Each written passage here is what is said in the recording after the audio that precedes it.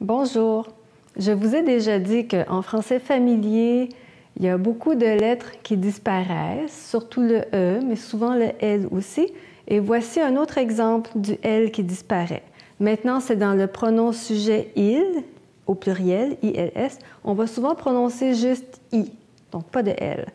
Dans la vidéo 5 raisons d'aimer la Bulgarie, je dis que les Bulgares, on trouve qu'ils sont authentiques et j'ai dit on trouve qu'ils sont authentiques, pas de L. Et je dis aussi que les gens, ils vont dans les cafés, je prononce ils vont dans les cafés. Et je dis aussi ils passent beaucoup de temps, je dis ils passent beaucoup de temps. Alors voilà, c'est tout.